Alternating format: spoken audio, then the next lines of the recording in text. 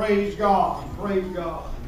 Thank you for obeying the Holy Ghost this morning and worshiping God. Amen. Yes. Praise God. God has already done a work in this place today. Praise God. I want us to look into the Word because it seems like everything just kind of went along with the Word from the from the Sunday school class on, on into now. And somebody said, well, probably when I start reading it, don't seem like it, but give me time. All right, go ahead. Listen. Bless him, Lord Jesus. Praise God. We're going to 2 Samuel, starting with the 11th chapter and verse 26. When the wife of Uriah heard that Uriah, her husband, was dead, she mourned for her husband. When the morning was past, David sent and fetched her to his house, and she became his wife and bare him a son. But the thing that David had done displeased the Lord. Praise God. I want to stop right there. Just ask you to lift your hands and, and, ask God's anointing to come down in this place today. God, we need you today, Lord. We need your touch. We need your anointing. God, we ask, Lord, that you just use us, God, for thy glory today. God, anoint hearts and ears to receive your word today. We'll praise you for it in Jesus' name. Praise God, and you can be seated. Let's continue to worship God and let God talk to your hearts uh, in this place today. Bible said it, and you know the story of David, how that instead of going out to battle, the Bible said that David stayed home. And there, he, he stayed home, he was on his rooftop and, and saw a woman by the name of Bathsheba, which he soon that was married to Uriah, and he soon had her brought uh, to his house or to his bed and committed adultery with her. And instead of admitting his mistake or admitting his sin, he went on and had uh, Uriah put to the front line and had him killed in battle. David, David was guilty of not only adultery, he was guilty of murder. You find that uh, when in verse 26 we read, and when the wife of Uriah heard that Uriah, her husband, was dead, she mourned for her husband. And when the morning was past, David sent and fetched her to his house, and she became his wife and bare him a son. But look at this last verse. But the thing that David had done displeased the Lord. Could I tell you this morning that sin displeases God? Sin displeases God. And I, you, you would be surprised. I looked up the word displeased from the Hebrew word that it was translated from, and it simply means to be enraged or angry. God was enraged at David for what he had committed. I wonder today how many times we displease God. He was enraged at David. You see, David had thought he'd, he'd, he'd hid it. David had thought that he had covered it up. But he was soon to be found out. For just a little while this morning, I, I just want to preach to you, teach to you, or speak to you on sin and true repentance. Sin and true repentance. You find that as we began, David thought he had all of this covered up and he thought he was in the clear now. But the Bible begins to tell us uh, that we have to be careful because our sins will find us out. Amen. Bible said this displeased God. Numbers 32 and 23 says this, but if we will not do so, behold, you have sinned against the Lord, and be sure your sin will find you out. Yes. You know, we're, we're not getting away with nothing. We're not hiding nothing from God. Amen. God knows all about it, and you can be sure somewhere down the road, if you continue in sin, your sin will find you out. Yes, it will. Just as David began to realize as Nathan began to pay him a visit. In Amen. the 12th chapter, of verse 1, and the Lord sent Nathan unto David, and he came unto him and said unto him, there were two men in one city, the one rich and the other poor. And the rich man had exceeding many flocks and herds. But the poor man had nothing, save one little ewe lamb, which he had bought and nourished up, and it grew up together with him and with his children, did eat of his own meat and drink of his own cup, and lay in his bosom, and was unto, unto him as a daughter. And there came a traveler unto the rich man, and he spared to take of his own flock and of his own herd to dress for the wayfaring man that was come unto him, but took the poor man's lamb and dressed it for the man that was to come. And verse 5 And David's anger was greatly kindled against the man. See, sometimes we, we are quick to look and to judge and to determine the sin of others. Uh-oh. And easily see them, but we fail to see the things that we try to hide from God. Amen. That's right. Praise God. I, you would be surprised, and maybe you wouldn't, when we began to examine our lives and, and began to look at our lifestyle. And, you know, even though sometimes we say, oh, I live for God, I serve God. But if you, if you will take note, if you will begin uh, to study and look at your life and your lifestyle, I don't think it would take you very long to realize it's not about God, but it's all about me. My, my, my. Huh? I'm afraid our lifestyles reflect that it's just it's not it's not all about God all the time. It's more about us. When we begin to take inventory of our lives and the way we serve God and the way we live for God, we'll find sometimes that uh, uh, it's simply a whole lot about me and not as much about God as I thought it was. My. Praise God. Because simply sometimes what we what we want overrules what God wants. My, my. That's right. Huh? That's right. Because sometimes if we're not covered, our lifestyle reflects that what we want a lot of times overrule what God wants. Yes. Praise God. We say we serve God. We say we live for God. And I, I hope we do to the best of our ability. But every once in a while, we need to, we need to make a checkup on our lives and see which really priorities do come first in our life. Hmm. See, our lifestyle will reflect that. It'll reflect whether it's more about me and what I want, or whether it's what God wants in my life. Amen. If I chose to follow Him, He said, "Take up your cross and follow me." Yes, sir. Praise God. If any man will come after me, let him deny himself. Amen. Uh-oh, that, that, that loses a lot of us right there if we're not careful. Because we're not quick to deny ourselves of anything. That's right. He said, if any man will come after me, let him deny himself and take up his cross and follow me. But David's anger was greatly kindled against the man, and he said to Nathan, As the Lord liveth, the man that hath done this thing shall surely die. He shall surely die, and he shall restore the lamb fourfold because he did this thing and because he had no pity. And Nathan said to David, Thou art the man.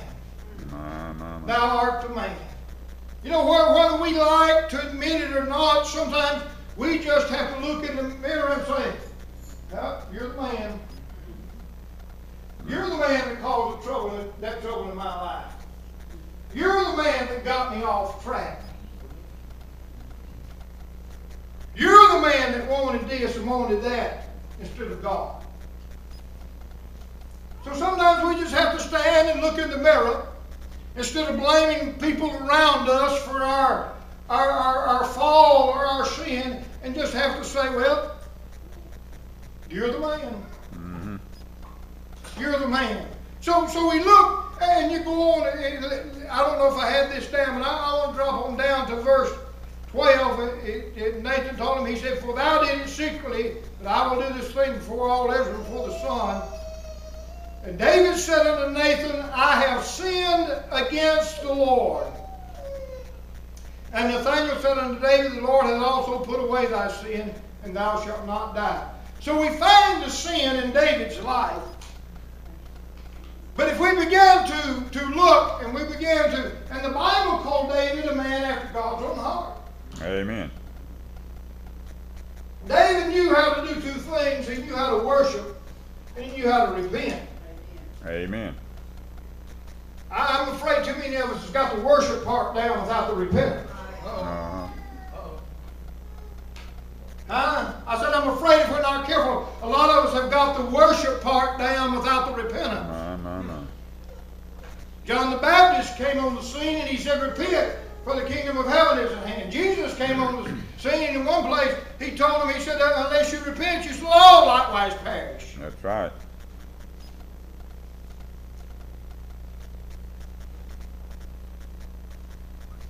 So sometimes we, we look and we see, and David began to realize, yeah, it's out now. It's not secret anymore because his sin had found him out.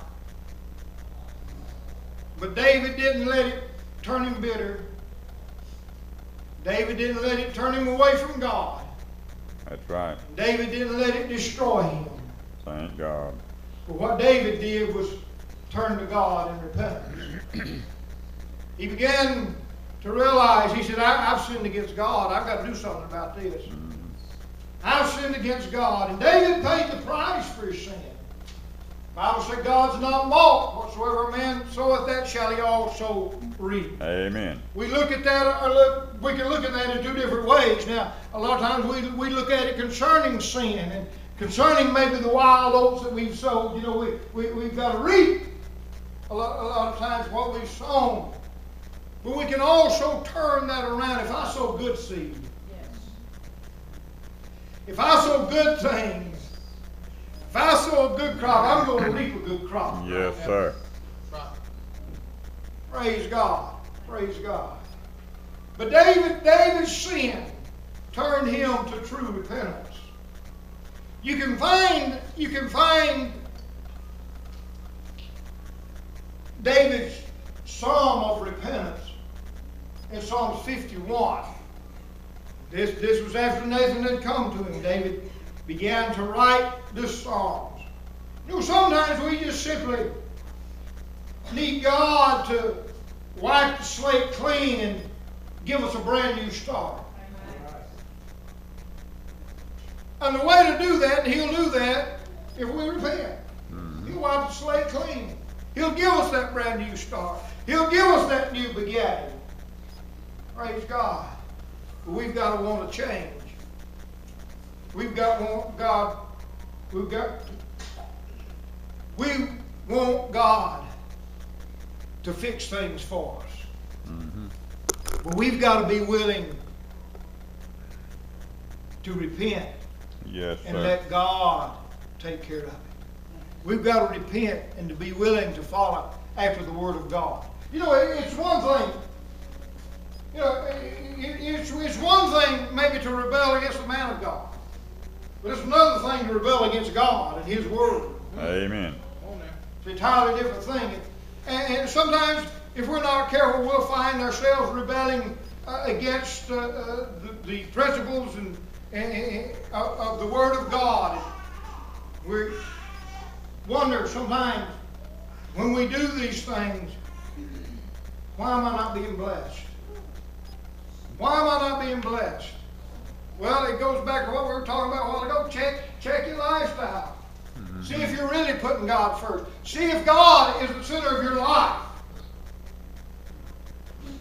I thought about, and I thought about it this week, and, and, I read it over. I thought about it in the book of Ezekiel, where it was talking about the wheel in the middle of the wheel. If God is the center of my life, He's the hub of that wheel. Yes, He's he in the is. middle. And everything else revolves around the center or the hub of that wheel. Everything in my life ought to revolve around God. Yes, sir. Everything, every decision I make ought to revolve around God. Amen. Everything that I do ought to, rev- would would God be pleased with this? Would God be pleased with this? Does my life really revolve? Is Jesus really the center of my life? Is He really first in my life? We can give ourselves a spiritual checkup this morning. We find that there's some, sometimes we, David, and I'm going to get into David, David began to realize he sinned against God. And David wanted to feel clean again. Mm-hmm. Yes, it did. David wanted that relationship he had with God restored again. He began to write Psalms 51.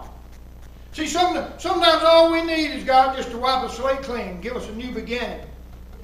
There, there, there's nothing I can do about what I've done yesterday. Unless I've wronged somebody, then I can go to them and ask forgiveness.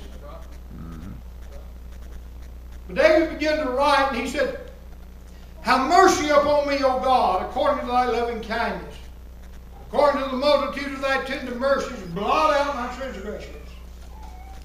Wash me thoroughly from my iniquity, cleanse me from my sins against thee, thee only. David didn't, David didn't blame nobody else for his fault. David didn't blame nobody else for his sin. But he said, Against thee and thee only have I sinned and done this evil in thy sight. That thou mightest be justified when thou speakest and be clear when thou judgest. He's, David, what did David do? He realized his sin and he realized the only way to God was repentance. But he also accepted the fact whatever judgment God put on him, he deserved it. Mm-hmm.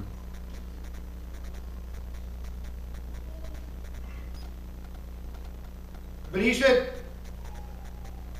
Behold, I was shapen in iniquity. The Bible says we're all born in sin. And in sin did my mother conceive me.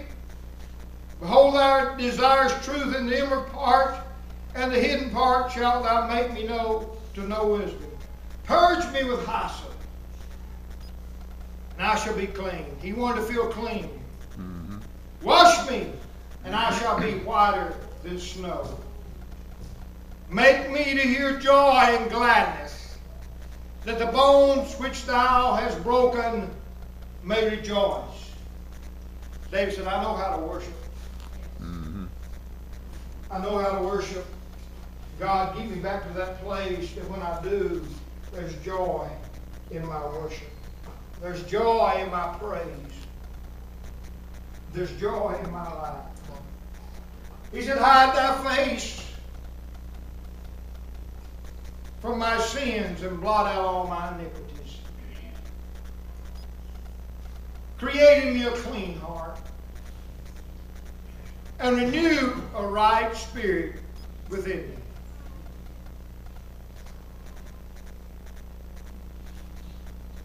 Cast me not away from thy presence, and take not thy Holy Spirit from me.